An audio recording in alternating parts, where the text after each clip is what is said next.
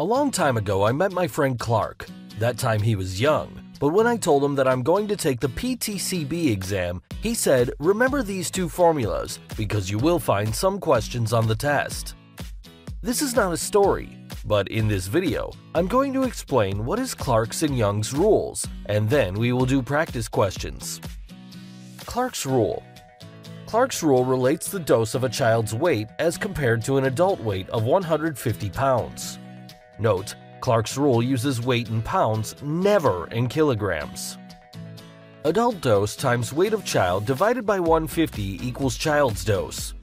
Young's rule Young's rule uses age and easy to remember because it calculates the dose by the age of the patient.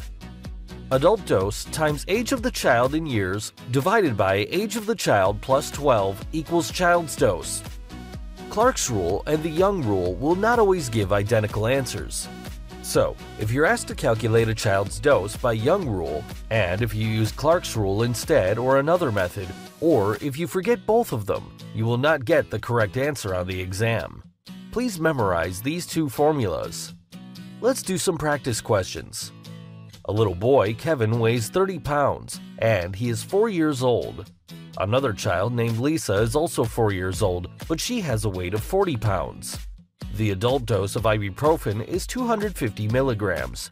Find the doses of both children with Young's rule and Clark's rule. Let's calculate the doses of Kevin. I'm going to write Clark's rule. Adult dose times weight of child divided by 150 equals child's dose. Adult dose equals 250 milligrams. Kevin's weight equals 30 pounds. Please make sure it is not in a kilogram. 250 times 30 divided by 50 equals 250 times 0.20, which equals 50 milligrams. Now, let's do this with Young rule for Kevin. He is 4 years old. Now we are going to insert information in the formula. Adult dose equals 250 milligrams. Adult dose times age of the child in years divided by age of the child plus 12 equals the child's dose. 250 times 4 divided by 4 plus 12 equals 1000 divided by 16 equals 62.5 milligrams. Now I'm going to apply both rules for the second child named Lisa. Age 4 years old, weight 40 pounds, adult dose 250 pounds. Young rule Adult dose times age of the child in years divided by age of the child plus 12 equals child's dose. 250 times 4 divided by 4 plus 12 equals 1000 divided by 16 equals 62.5 milligrams. This is the same answer as Kevin's dose by using the Young rule. Clark's rule. Adult dose times the weight of the child divided by 150 equals child's dose.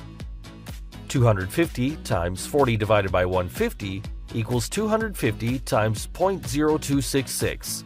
66.7 milligrams. So if you compare for both children, Kevin and Lisa, they produce different dosages after using Clark's rule, but Young rule produces the same answer.